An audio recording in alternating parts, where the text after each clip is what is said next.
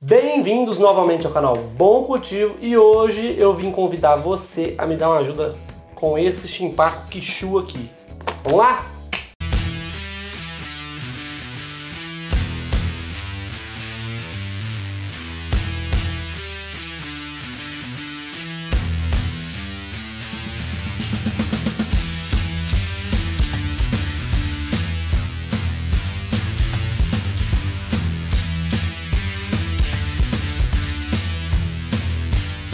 Bom, galerinha, eu ia fazer um procedimento nessa planta, né? E o que, que eu resolvi? Resolvi fazer um pouquinho diferente. A gente já fez isso uma vez com a caliandra, lembra? Fiz uma votação, mas a gente fez um processo um pouco mais demorado. Isso aqui vai ser rapidão. A ideia é o que? A gente exercitar junto qual será o destino de uma planta que não tem forma nenhuma. Então, assim, a gente não consegue ver né, galhos, a gente sabe que tá... É, vou mostrar alguns detalhes, vocês vão ver que ela tá bem oca dentro aqui, né? Então, assim, ela tá, não dá pra ver estrutura de tronco, não dá pra ver nada. Então vou pedir a ajuda de vocês para ver o que vocês fariam com essa plantinha aqui, beleza? Bom, então é o seguinte, ó. Primeira coisa, né, vamos dar uma olhadinha na planta. Esse lado aqui, ó, a parte de baixo, né? Esse lado bateu pouca luz, ó. Será que tá caindo uns pedacinhos dela aqui? Então o pedaço que tá, não tá com tanto vigor igual esse, esse aqui tá bem mais vigoroso. Essa parte de baixo tá bem opaca, o verde, ó. Vocês conseguiram ver aí. Vou fazer uma filmagem bem de perto para vocês verem. Tem uma parte bem opaca, só as pontinhas verdes. Então tem que abrir para o sol entrar para essa planta né, ficar homogênea. Então ela está cabeluda, acaba matando outra parte aí de tanta sombra. Então o que, que acontece? Essa planta está aqui faz um tempinho já. Ela vem de um grupo aí com de algumas irmãs, né, igualzinha a ela. Então, assim, o Shimpaku Kishu ele cresce bem lento, né? Principalmente aqui na minha região. O que, que mudou dele aqui? Algumas ponteiras, né? Essas ponteironas aqui não tinha. As ponteiras aqui. Provavelmente cresceu um pouquinho essa aqui também. Ela, ela, ela parecia um cascatinho, agora está subindo, né? Então, assim, vamos planejar, vamos ver quais opções a gente tem para fazer dessa planta aqui.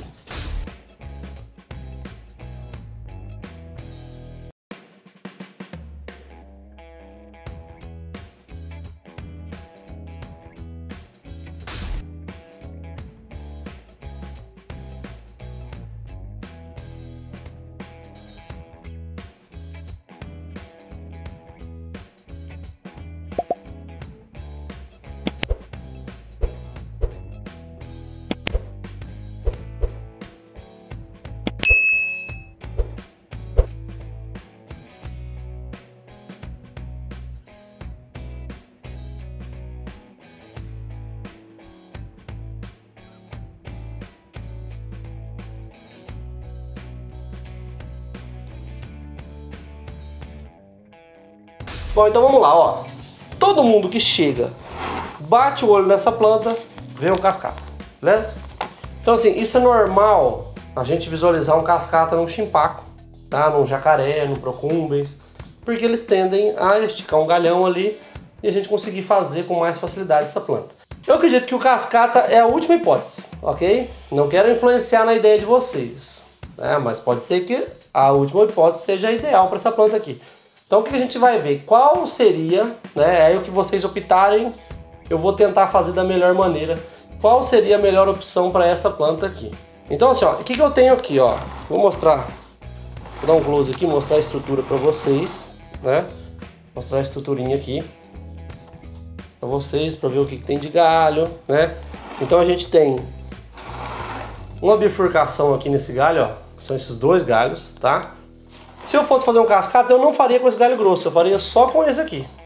Desceria, faria uma planta bem pequenininha, ok? Pela estrutura do tronco, o tronco não é um tronco tão grosso, né? Então, pela estrutura do tronco, eu faria com esse cara aqui. Ou, né, eu tenho vários, vários galhos para cá, ó. Poderia fazer uma planta bem pequenininha, usando só esse pequenininho aqui? Poderia ficar bem legal, tá? Um plantinha bem pequena, usando só essa parte aqui, ó. Que aí o tronco teria uma espessura mais proporcional, né? Ou a gente poderia eliminar essa parte, trabalhar aqui como o primeiro galho e dar uma torcida para fazer uma plantinha pequena também, tá? Em todas as hipóteses é uma planta bem pequena, uma planta bem compacta, pela estrutura de tronco ser bem fininha ali, né? Se é uma planta maleável, a gente consegue trabalhar. Então eu faria o primeiro galho aqui, talvez nem utilizaria esse primeiro galho, mas a primeira opção, utilizaria o primeiro galho aqui, eliminaria aqui, a gente faz uma torçãozinha, tá? Com essa parte que sobrar aqui, para fazer uma planta pequena também. Então provavelmente essa ponteira a gente ia utilizar um pedaço para baixo, né? Não ia ficar essa pontona para cima aqui. Lembrando que, se eu fosse ficar com a, essa planta aqui é uma planta do site, tá? Então eu entrei lá no site, tirei a planta do site. Eles vão estar bem desfalcados, mas semana volta, volta com todo vapor aí. Tirei ela de lá. Por quê? Porque a gente vai mudar o formato e eu vou devolvê-la para lá assim que ela se recuperar, ok? Mas se fosse para eu ficar com ela, eu torceria, nem trabalharia nada e deixaria crescer com uma planta grande. Fazer uma planta, uma planta maior, grande não, mas a, a torção deixar deixar essa torção ficar mais vigorosa ali e tal, né? Mas fazer uma plantinha um pouco maior. Mas, ah, e por que, que eu faço isso? Porque eu não gosto de planta pequena não, porque chimpaco pequeno, aqui em casa a vida, a vida útil dele, né? A vida dele encurta um pouquinho. Por ser um calorão, né? A gente tá fazendo um sombritinho de 30%, que é difícil de encontrar esse sombrio de 30%, que é só para dar uma, uma aliviada no sol, né? Sem, sem impedir a iluminação necessária para a planta, mas ainda não está pronto, desde a mudança ali estou tá, sem esse cara. Então acaba diminuindo a vida útil da planta, tá? Mas é mais pela temperatura, mudança de temperatura que o vasinho tem. Então se fosse para eu fazer para mim, eu precisaria de uma planta um pouco maiorzinha, sendo um chimpá. Eu tenho ali uns procumbens pequenininho, bem legal. Então é isso aí, galerinha, ó. O que, que eu tenho para fazer? Opção, primeira opção, jogo de lado, ó o tronquinho tem o tronquinho aqui e uso esse aqui para o ápice. Faço uma planta bem compacta, filezinha eficaz aqui, ok? Talvez para a gente fazer, ah, mas você vai fazer, é, eu vou fazer a planta, né, tentar fazer o máximo que dá. Se eu ver que vai ficar muito, com um pouquinho massa verde, eu deixo uma ponteira dessa para segurar a força, ok? Uma ponteirinha aqui para segurar a força da planta para não tirar tudo de uma vez. Se a gente tira até 30%, eu tiro até uns 50%, acredito que dá para tirar assim, desde que seja né? Você vê que a planta está bem vigorosa, está com bom, bastante ponteira, brotando, então dá para fazer. Então eu farei uma pontinha pequenininha, uma plantinha pequenininha aqui, usando esse galho aqui como ápice, né? Essa parte aqui como ápice, fazer uma planta bem pequenininha, beleza? Ou a gente usaria um cascata, não usando esse galhão, mas sim usando essa bifurcação dele aqui, ó. Que é um galho mais maleável, para dar uma movimentaçãozinha. Ou um semi-cascata, né? Fazer, utilizando a parte da copinha que já tem aqui também. Ou a gente fazer uma torção, né? A torção vai sentir um pouquinho mais. Essa talvez seja uma planta que a gente não consiga finalizar ela, porque vai judiar bastante do tronco. Então, fazer uma torção aqui. A gente vai entortar o tronco, o tronco já tem um movimento primário ali, usar esse primeiro galho e o resto da planta, essa parte aqui, ok? Então, mas a gente a torcer, talvez nem usaria essas ponteiras aqui, né? Depende do, do que o galho aceitar ali na torção. Então temos essas três opções. Tá? Eu, quando eu falei da questão do cascata, que é a última opção, eu tenho um ali que eu acho que vou fazer um cascata, um, um procumbens. Né? Eu não tenho nenhum cascata, não mais, não tenho mais. Então gostaria de fazer um para estar tá treinando ali.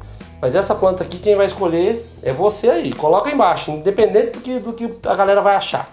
Ah, eu, se fosse eu, faria a planta pequenininha. Se fosse eu, fazia o cascata. Se fosse eu, trabalharia a planta inteira com com uma torção bem forte aí para cima. Eu não vou fazer cascata com essa devido à limitação, né, de movimento do galho. Acredito que essa aqui vai ficar quase do mesmo tamanho, ó, e vai ter um trabalho um pouco melhor. Vai ter uma movimentação melhor, vai dar uma textura melhor para a planta aí. Beleza? E aí, qual é a planta que você faria na sua casa? Responde aí, galerinha. Mas antes, lembra de deixar o joinha aí. Lembra de, de esperar o próximo vídeo. Ativa o sininho para sa sair a notificação. E se não é inscrito, né, se inscreva no canal. Então lembre-se, gostou, compartilha com os amigos, não gostou, compartilha com os inimigos. Eu desejo a todos um bom cultivo.